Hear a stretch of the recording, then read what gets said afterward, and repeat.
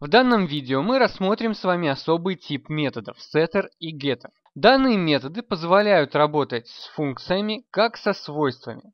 И на самом деле вы уже это делали, просто не знали об этом. Мы работаем в специальной папке, как вы видите у нас есть исполняющий FLA файл, а также заранее подготовленный класс. Как вы видите, здесь есть стандартное объявление класса. Мы объявляем класс, мы объявляем его конструктор, все это находится в пэкэдже.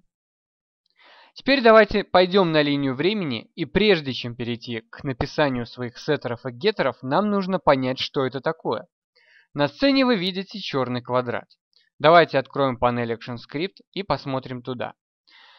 Мы с вами обычным образом получаем координату этого клипа через MCX. То есть, заметьте, написав такую строчку, мы получаем координату этого клипа. Но написав такую строчку, то есть присвоив координаты, мы ее меняем. Вы могли предположить, что такой синтаксис вы меняете свойства. На самом деле x это setter и getter. На самом деле, написав mcx, вы вызываете getter, а написав mcx равно 275, вы вызываете setter. Getter от слова get – получить, получить данные, set от слова установить, установить данные. Таким образом, вы видите, что setter и getter – это такой тип функций, который позволяет нам обращаться с ними как с свойствами. Благодаря setter и getter написание кода в некоторых местах может быть более удобным. Согласитесь, что вам бы было неудобно постоянно писать set x и указывать здесь значение, а чтобы получить это значение, mc get x.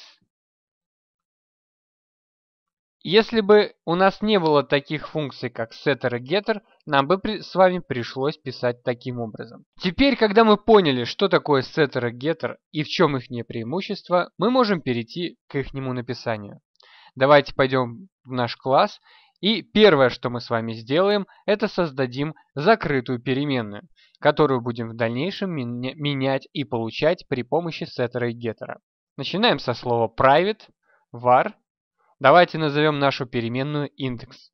Она будет числового типа. Значение по умолчанию будет равно нулю. Первое, что мы сделаем, это создадим getter, который будет возвращать значение этой закрытой переменной. Вы помните, что напрямую к этому значению мы теперь обратиться не можем с линии времени, потому что у нас модификатор доступ private, он закрывает доступ к этой переменной. Но мы можем обратиться к этой переменной путем публичного свойства. Начинаем со слова public, function, далее вы пишете слово get. Get в данном случае является ключом, который говорит флешу о том, что это getter. Далее вы пишете индекс. Далее вы возвращаете число. Эта функция возвращает назад переменную. Внутри функции мы возвращаем эту переменную. Как вы видите, у нас возник конфликт. И флеш нам об этом обязательно скажет. У нас закрытая переменная называется индекс. И свойство называется индекс. Чтобы этого избежать, обычно программисты перед закры...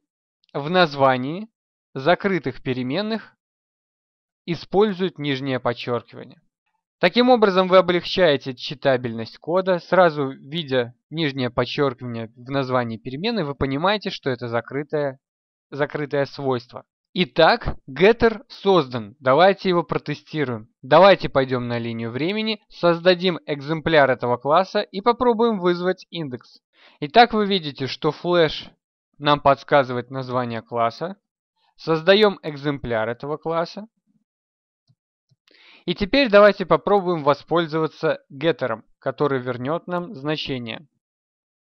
Как вы видите, флеш нам подсказывает существование такого геттера. Как вы видите, чтобы получить значение закрытой переменной, мы можем воспользоваться теперь таким вот образом.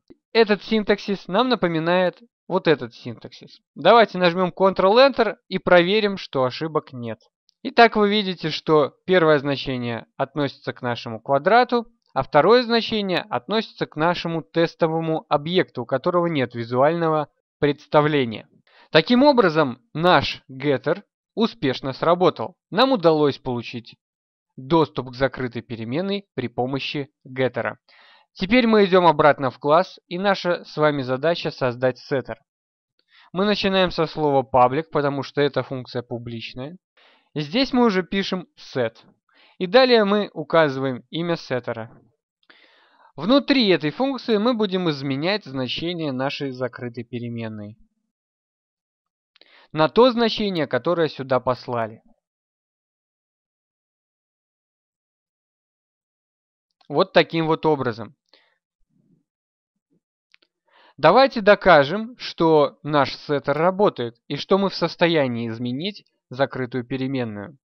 Возвращаемся на линию времени в наш, к нашему тестовому объекту. И давайте теперь попробуем изменить индекс этого объекта вот таким вот синтаксисом. И сразу после этого мы получим это значение при помощи getter. Здесь мы воспользовались сеттером, здесь воспользовались getterом. Нажимаем Ctrl-Enter, и вы видите, что действительно его значение изменилось. Таким образом, в этом видео вы научились создавать сеттеры и геттеры и поняли, какое преимущество они нам предлагают. Они позволяют обращаться с методами, как со свойствами. В некоторых моментах кода это может быть гораздо удобнее. Например, вы знаете, где это то удобнее точно, когда вы меняете координаты вашего объекта. Чем больше будет у вас практики, тем больше вы найдете применений сеттеру и геттеру.